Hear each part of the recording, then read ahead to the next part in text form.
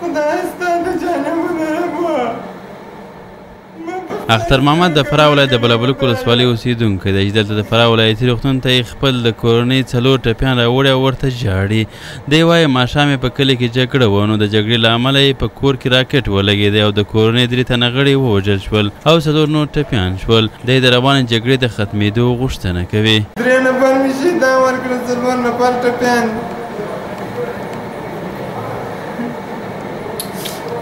کور والا مې شهیده شوه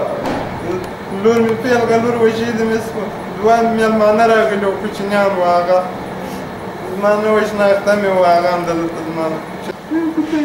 د فراه ولایت د بلابلوک ولسوالۍ ولسوال مسجد محمد هم دا تاییدوي چې اختر محمد ته په جګړې کې زیان رسېدلی خو دا لا تر اوسه معلومه نه ده چې د اختر محمد په کور کې د کوم لوري توغندی لګېدلی دی دا یوازې اختر محمد نه دی چې روانې جګړې په فراه کې ورته زیان اړولی دی، بلکې د تېرې اونۍ راهیسې کابو پنځلس تنه ملکي کسان د ماین په چاودنو او جګړو کې وژل شوي دي. د فراه د ولایتي روغتون مشر ډاکتر شیر احمد وېدا وايي چې یوازې تېره شپه ورته لس ټپیان د جګړو له امله راغلي دي. د هغه په خبره په وروستیو ورځو کې د ملکي کسانو مرګ ژوبله په فراه کې زیاته شوې ده.